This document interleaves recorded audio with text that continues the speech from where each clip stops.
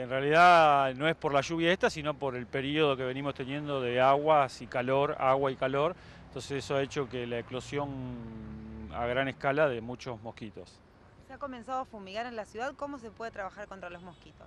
Bueno, tengamos en cuenta que este mosquito es el mosquito culex, el mosquito común, no es el mosquito que transmite ni dengue, ni zika, ni chikungunya. ¿eh? Entonces este es el mosquito de los parques, de las plazas, ¿eh? de, la vera del Paraná.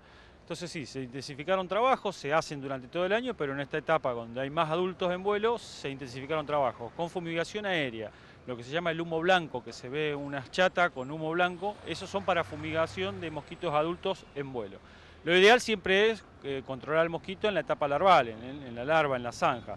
¿Qué pasa? Estas condiciones han hecho que hay lugares donde no había agua durante mucho tiempo, tuviera agua, en unas 6, 7, 8 días de agua en algún estanque, en alguna zanja, eso ha hecho que eh, eclosionen nuevos adultos. ¿En cuánto tiempo podremos liberarnos o por lo menos que haya menos mosquitos en la ciudad de Rosario?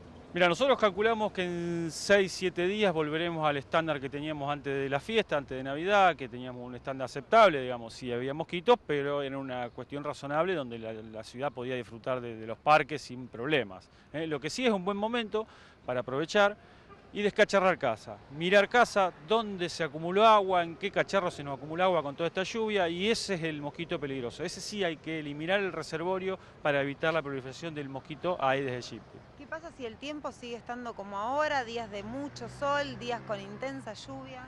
Bueno, los trabajos no van a frenar, se van a seguir intensificando mientras haya población de mosquitos adultos. Nosotros tenemos un equipo técnico que recorre los parques, recorre los barrios, eh, controlando en horas nocturnas, en horas diurnas, digamos, en cualquier momento salen a recorrer las calles, a ver la cantidad de población, a controlar larvas en zanjas.